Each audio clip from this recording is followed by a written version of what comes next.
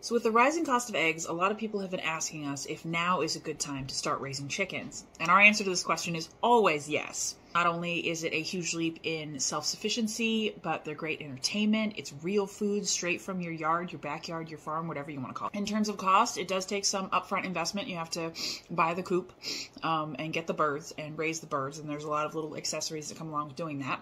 But once you get them set up, it's generally like a break even affair. Um, the money that you could get from selling eggs or the benefit of you getting those eggs from the chickens covers the cost of the feed. And then if you free range them or grow your own food, that takes the cost down even lower. This year, we're ordering nine new chickens to add to our flock, and we're also going to let one of our um, turkeys go broody and hopefully hatch out some babies as well. So, there's lots of chicks in our future, and if you want to talk more about raising poultry in your own backyard, um, let's hit the follow button and get the conversation started.